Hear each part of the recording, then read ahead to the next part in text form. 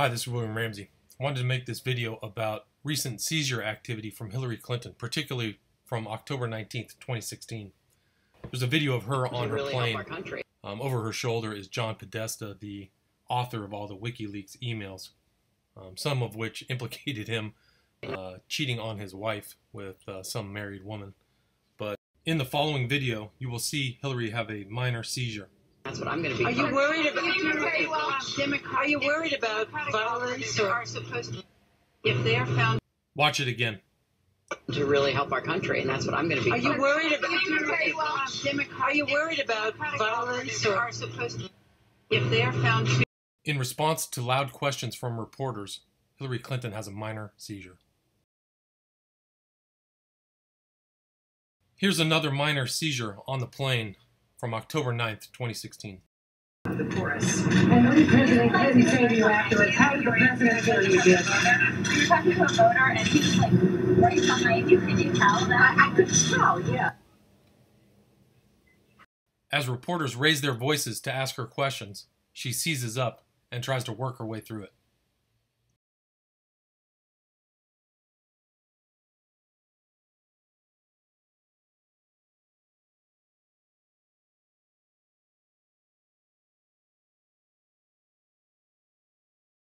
Watch it again. I know the president say to you afterwards. How did the president feel you did?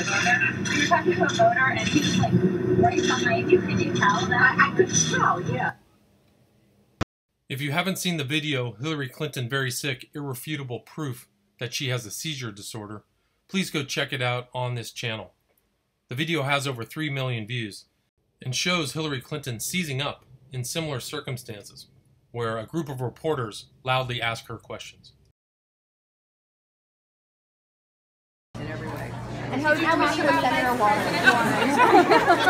Did you talk about vice presidential possibilities with Senator Warren? You guys have got to try the cold chop. I've had it. Here is the full video of Hillary seizing up on October 19th. I uh, just wanted to come back and say hello. Some of you have been on the trail for the whole time. No more debates. No more naps. No more naps. The rumor is, is that Hillary Clinton sleeps most of the day. Will you accept the results of the election? Listen to that question again and watch how she refuses to answer it and spins it. Will you accept the results of the election? You know, it was horrifying what he said on the debate stage tonight. Um, you know, our country's been around for 240 years, um, and you know, we are a country based on laws, um, and we've had hot contested elections going back to the very beginning. Uh, but one of our hallmarks has always been that we accept the outcomes of our elections. We do the best we can to have and fair elections, which we do, and fair elections, which we do. We do not have fair elections, and the Democrats are planning to steal this one. Uh, and somebody wins and somebody loses. Uh, so what he said tonight is part of his whole effort to blame somebody else for his campaign and for where he stands in this election. As I said, uh, whenever he is losing, he says the system, whatever the system is, whether it's uh, you know, being in court about Trump University or losing the Iowa caucus and the Wisconsin primary or losing Emmys, for goodness sakes, he says that it's rigged against him.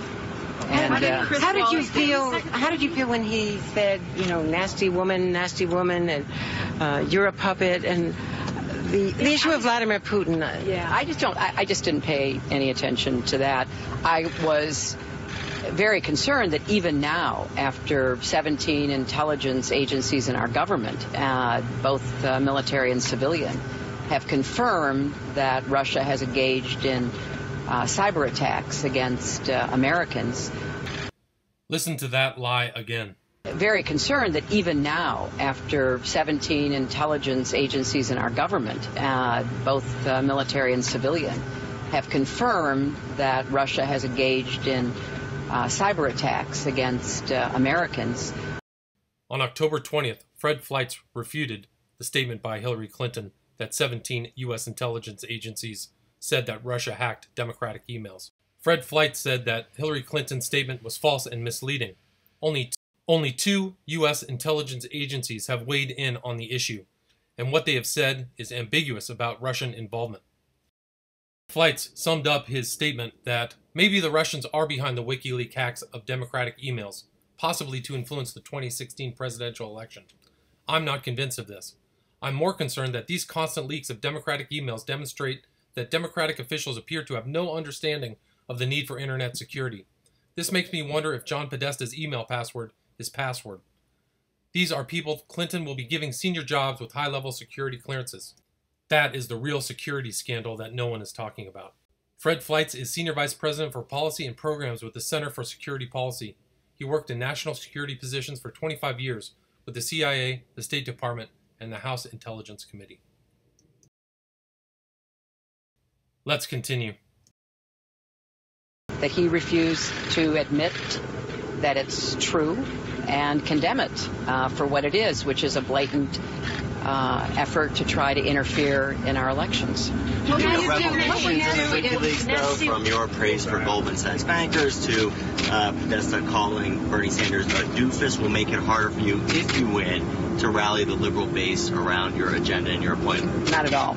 Bernie Sanders is out there working hard every day to get me elected. Uh, I'm looking forward to working with everybody in our party. But as I said in uh, the closing, which they gave us at the last minute, uh, I'm reaching out to all Americans, uh, Democrats, Republicans, and Independents. I want to summon every American to, you know, use his or her talents and energy uh, and ambition to really help our country, and that's what I'm going to be. Are you worried about? Um, Are you worried about violence or? Are supposed to She has a seizure, then wraps it up.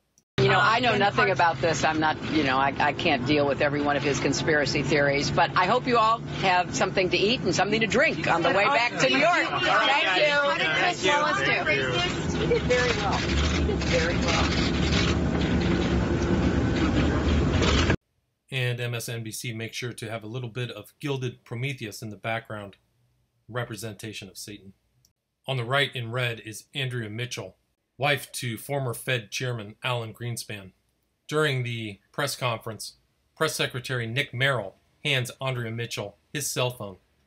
Did Merrill give Andrea Mitchell a question to ask Hillary?